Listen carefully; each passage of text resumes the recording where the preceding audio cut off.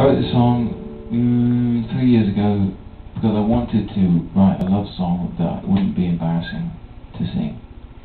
That would be like, uh, that would be like. I thought, well, because being love's perfectly excellent and, and, and brilliant thing.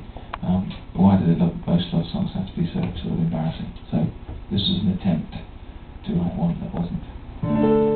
So we'll see how I get on. It's called um, Brighter Than Sunshine.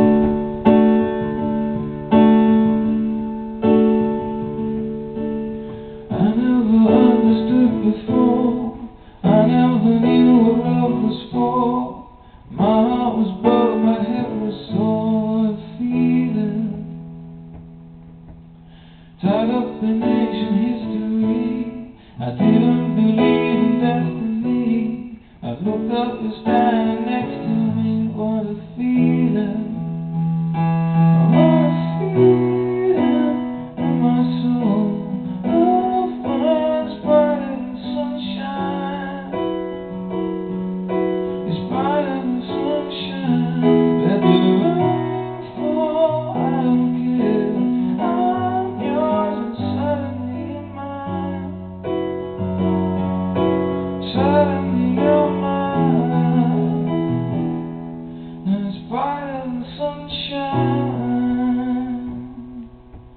I